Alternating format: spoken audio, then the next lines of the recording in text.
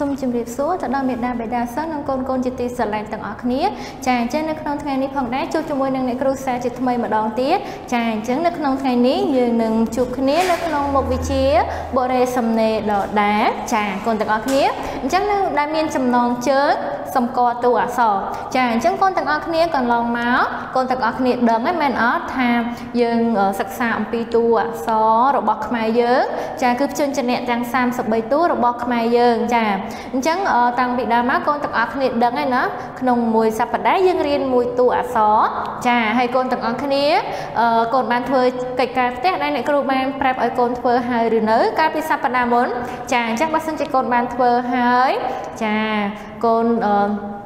កូនត្រូវធ្វើវាឲ្យបានស្អាតចាគឺកូននិយាយទៅកិច្ចការផ្ទះរបស់យើងគឺតាក់ទងជាមួយនឹងការសរសេរអក្សរអញ្ចឹងកូនទាំងអស់គ្នាត្រូវតែផ្ចិតផ្ចង់រៀនសរសេរអក្សរឲ្យបានស្អាតទាំងអស់គ្នាណាកូនចាអញ្ចឹងនៅក្នុងថ្ងៃនេះយើងនឹងជួបគ្នាម្ដងទៀតចាគឺនៅក្នុងមុខវិជ្ជាបរិយាសំណេរដដែលចាអញ្ចឹងកូនទាំងអស់គ្នាចង់ដឹងហើយមែនអត់ថាថ្ងៃនេះយើងនឹងសិក្សាអំពីតួអក្សរអ្វីបន្ទាប់ពីអក្សរដែលយើងសិក្សាកាលពីសប្តាហ៍មុនតោះឥឡូវកូនទាំងអស់គ្នាយើងមកមើលជាមួយនឹងរូបភាពនិងពាក្យទាំងអស់គ្នា ចាតោះចង់ដឹងថាថ្ងៃនេះអ្នកគ្រូមានរូបភាពអ្វីមានពាក្យអ្វីខ្លះមកបង្ហាញកូនទាំងអស់គ្នា ចាតោះឥឡូវកូនទាំងអស់គ្នាមើលរូបភាពទី1ជាមួយអ្នកគ្រូចាកូនមើលមើលអ្នកទាំងអស់គ្នាធ្លាប់ឃើញសត្វនេះពីមុនមកទេ ចាអញ្ចឹងនេះគឺជាសត្វភេចានេះគឺជាសត្វ ភេចាកូនមើលរូបរាងរបស់វាមើលចាតើវាស្រដៀងនឹងសត្វអ្វីចាឥឡូវកូនមើលទៅលើមុខមាត់របស់វា ចាវាមានពុកមាត់ដូចជាពុកមាត់ឆ្មា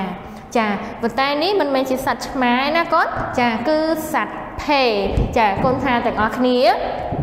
ភេចាម្ដងទៀត ភេចាឥឡូវអ្នកគ្រូនឹងបិទនៅលើក្តារខៀនចាឥឡូវអ្នកគ្រូបិទរូបសត្វភេនៅលើក្តារខៀនចាអញ្ចឹងរូបភាពនីមួយនីមួយតែងតែមានពាក្យរបស់វា ចាតោះឥឡូវកូនទាំងអស់គ្នាមើលចានេះគឺជាពាក្យថាភេចាម្ដងទៀតភេចាកូនអានចាភេអមាញ់មិញកូនឃើញរូបភាពភេមែនទេតោះឥឡូវយើងនឹងបិទពាក្យនេះនៅខាងក្រោមរូបភាពរបស់យើងចា តោះឥឡូវកូនអានភេម្ដងទៀតភេតោះឥឡូវយើងទៅមើលជាមួយនឹងរូបភាពបន្តទៀតចាចង់ដឹងថាជារូបភាពអីតោះកូនមើលទាំងអស់គ្នារូបភាពនេះជារូបភាពអីកូនចាគឺរូបភាពភ្នំមែនទេចាគឺរូបភាពភ្នំ ចាភ្នំគឺជាកន្លែងដែលគឺជាកន្លែងដែលខ្ពស់ចា គឺជាទៅកូនស្គាល់ភ្នំហ្នឹងមែនអត់ចាគឺជាទីទួលដែលខ្ពស់ហើយធំចាគេហៅថាភ្នំមែនអត់តោះឥឡូវអ្នកគ្រូបិទនៅបន្ទាប់ពីរូបសัตว์សัตว์ភេរបស់យើងកូនតោះឥឡូវយើងមកមើលអំពីពាក្យទាំងអស់គ្នាចាមិនមែនកូនឃើញរូបភាពឥឡូវយើងមកមើលអំពីពាក្យទាំងអស់គ្នាចានេះគឺជារូបភាពអនេះគឺជាពាក្យភ្នំចាម្ដងទៀតភ្នំចាឥឡូវកូនថាជាមួយអ្នកគ្រូទាំងអស់គ្នា ភ្នំចាកូនថាដោយខ្លួនឯងចាភ្នំណាអញ្ចឹងអមិនមែនកូនឃើញរូបភ្នំហើយឥឡូវយើងបិទពាក្យនៅខាងក្រោមនេះតោះឥឡូវកូនឃើញហើយណាឥឡូវកូនមកមើលរូបភាពចុងក្រោយរបស់យើងតើជារូបភាពអ្វីចានេះគឺជារូបភាពភួយចាភួយណាកូនចាកូនថាមើលភួយម្ដងទៀត ភួយចាភួយកូនស្គាល់ភួយអត់ចាគឺភួយសម្រាប់ដណ្ដប់ពេលកូនគេងមែនអត់ចាគឺគឺវាបំបត្តិអីគេពេលកូនតិចគឺកូនតែងតែយកភួយមកដណ្ដប់មែនអត់ចាតោះកូនអានទាំងអស់គ្នាភួយចាតោះឥឡូវអ្នកគ្រូនឹងបើករូបភួយនេះនៅបន្ទាប់ពីរូបអីគេកូនចារូបភ្នំតោះឥឡូវយើងមកមើលអំពីពាក្យរបស់វាវិញម្ដងកូនចានេះគឺជាពាក្យថា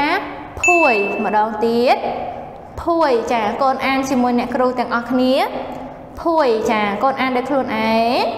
ចាភួយតឥឡូវអ្នកគ្រូនឹងបិទនៅខាងក្រោមរូប ភួយរបស់យើង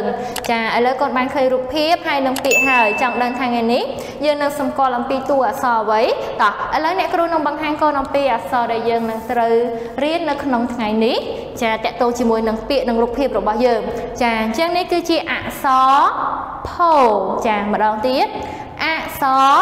ផោចាអក្សរផោចឹងថ្ងៃនេះកូនទាំងអស់គ្នាមកសម្គាល់អំពីតួអក្សរផោជាមួយនឹងអ្នកគ្រូទាំងអស់គ្នា ចាតោះឥឡូវកូនអ្នកគ្រូបានប្រាប់កូនថ្ងៃនេះយើងសិក្សាអំពីតួអក្សរមួយនេះតោះឥឡូវយើងក្រឡេកទៅមើលពាក្យទាំងអស់នេះតើអក្សរផូនេះនៅត្រង់ចំណុចណា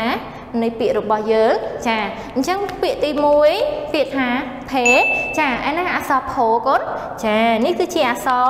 អក្សរផូតើអ្នកគ្រូគូបន្តក្រហមដើម្បីឲ្យកូនទាំងអស់គ្នាសម្គាល់ថានេះជាអក្សរផូមែនអត់ចាកូនបានរកឃើញជាមួយអ្នកគ្រូហើយតើចុះពាក្យថាភ្នំឯណាអក្សរផូកូនចានេះគឺជាអក្សរ ផូមែនអត់តើឥឡូវអ្នកគ្រូគូសម្គាល់មួយទៀតតើចុះពាក្យថាភួយឯណាអក្សរផូកូនចាគឺនៅចំណុចផ្ដើមនៃនៃពាក្យរបស់យើង ចាគឺ នេះកូនអក្សរផូតាឥឡូវកូនទាំងអស់គ្នាបានស្គាល់អំពីពាក្យកូនឃើញរូបភាពដែលតកតងជាមួយនឹងអក្សរផូនេះហើយឥឡូវយើងមកមើលអំពីរបៀបនៃការសរសេរអក្សរផូវិញម្ដងចាអញ្ចឹងដឹងថាតើអក្សរផូមានប៉ុន្មានចលនាដែលកូនទាំងអស់គ្នាត្រូវដឹងដែលកូនទាំងអស់គ្នាត្រូវសរសេរតាម ចាដើម្បីកុំឲ្យមានការខុសមែនទេចាអញ្ចឹងអក្សរផូគឺកូនត្រូវសរសេរមាន6ចលចលនាចាអញ្ចឹងកូនមើលមើលកូននមើលចលនាទី1របស់អក្សរផនៅត្រង់ចំណុចណា ផ្ដើមចេញពីណាទៅ ចាអញ្ចឹងចំណុចទី1ចំណុចទី1គឺកូនត្រូវផ្ដើមចេញពីចំណុចត្រង់ ត្រង់គួចរបស់អក្សរផូនេះចាគឺកូនត្រូវគួចវានៅខាងក្រៅចាគួចនៅខាងក្រៅកូនទាញវាពីលើចុះក្រោមមករួចហើយចលនាទី2បន្តឈរពីក្រោមឡើងទៅ ទៅលើ ចលនាទី3បន្តដេកនិងចលនាទី4បន្តឈរពីលើចុះចុះក្រោមចាចំណែកឯចលនាទី5និងចលនាទី6គឺស្ថិតនៅលើសក់របស់អក្សរផូនេះកូនចានេះគឺការទៅសេដូចគ្នា ចាអញ្ចឹងអក្សរផូមួយគឺមាន6ចលចលនាអញ្ចឹងកូនទាំងអស់គ្នាត្រូវទៅសេតាមចលនារបស់អក្សរផូឲ្យបានត្រឹមត្រូវទាំងអស់គ្នាតោះឥឡូវកូនបានឃើញហើយថ្ងៃនេះយើងនឹងសិក្សាអំពីអក្សរផូចាដែលមានពាក្យអីខ្លះកូនចាទី1ភេទី2ភ្នំនិងទី3ភួយចាហើយកូនក៏បានស្គាល់អំពីការសរសេរអក្សរផូដែរមែនអត់អញ្ចឹងអ្នកគ្រូសង្ឃឹមថាកូនទាំងអស់គ្នា កូននឹងអាចសរសេរអក្សរផូនេះបានត្រឹមត្រូវតាមចលនាដែលអ្នកគ្រូបានដាក់ឲ្យកូនទាំងអស់គ្នាធ្វើអញ្ចឹងអ្នកគ្រូនឹងឲ្យកូនទាំងអស់គ្នាសរសេរអក្សរផូ